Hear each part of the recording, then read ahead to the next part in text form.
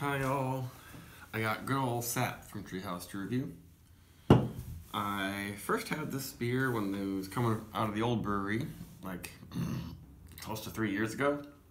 Um, and then a couple months ago I got Sussa Sap from the new brewery in Charlton. And then I finally got some regular sap. So it seems like this beer has changed slightly. Uh, on the can it says 7% alcohol. On their website it still says 7.3. And when I looked at my picture of sap from three years ago, it looks kind of dark and not as hazy as it looks now. Now it's, at least this batch I've been tasting, it, it seems like a lot of their other ones, like uh, Alter Ego and Julius, it looks like that. It's really, really tropical. Um, but it features Chinook hops. That's the whole shebang.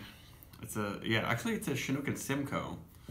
So the Simcoe may have, be pulling this to a sort of fruitier, more stone fruit area where a lot of their other IPAs are, but in the past, it, I wonder if they only used sap and they made it a little bit drier, more bitter, and maybe even a little bit darker. Um, but I really like how this one was drinking, at least this batch, but I haven't had it in about at least a week. And you can see that it looks super beautiful, really pale, really hazy just like Alter Ego and Julius look. awesome, awesome head. I love my big creamy heads. Mm. And yeah, surprisingly tropical. yeah, Chinook you usually think is going to be piney, resinous, really bitter grapefruit peel. But I'm getting lots of peach in here. They say mango, pine, grapefruit. Not much pine, a little bit. I'll probably get more as I drink it.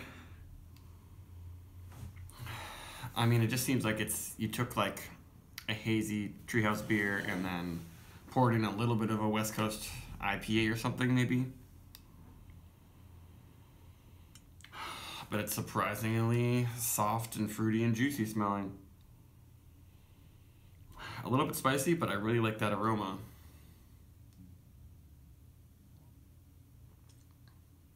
Mm. Yeah, it's a little bit drier than Alter Ego, for sure. That's one of their other standard IPAs I got. And not as sweet. The body might be a little less soft because of that. but it's nice and refreshing. I feel like it finishes a little bit cleaner than other Treehouse beers. Still has this lingering yeast tang that sometimes I think it reminds me of those weird candy circus peanuts. It's slightly banana, but not quite. Hmm. Yeah, I mean, it's still pretty soft, full mouth feel, but not quite the best that Tree, or Treehouse can give us. But it's if you want something that's, that's not all just super sweet, soft juice, if you're not in the mood for that, you want something a little bit drier, and maybe a touch more refreshing, I would go with this, but you still get plenty of fruity notes. Now it's getting a little bit more spicy. Maybe I, I can pick out some more pine. Hmm. Hmm. Yeah. And now it's getting, you know, the grapefruit and pine are coming out a little bit more. A little bit earthier.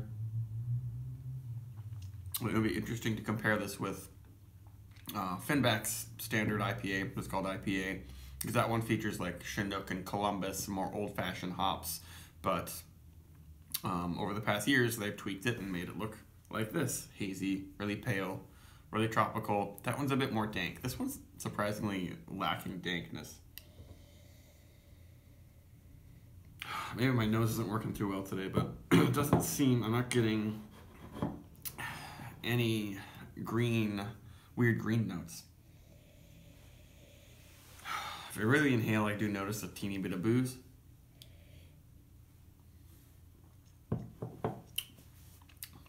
But it's really nice. I, I wouldn't pass this one up. Maybe it was a little bit fruitier when I had it like, you know, two days fresh. Right now it is at 15 days old. And pretty good. If, if, I would say if you're you know more into old fashioned, more bitter West Coast style IPAs, this is probably the first Treehouse beer to try. It'll have that stuff going on. That'll still be uh, kind of soft and fruity, like uh, you know Treehouse is known for. Hmm. Yeah, when I first had this batch, I would have given it like a four and a half. I'm, I think I might go for a four two five right now. It's just not sparking delight quite as much as I thought it would, but I don't know. Maybe my nose is maybe I'm starting to get sick or something because I feel like I'm not smelling as much. Well, that's enough. Goodbye.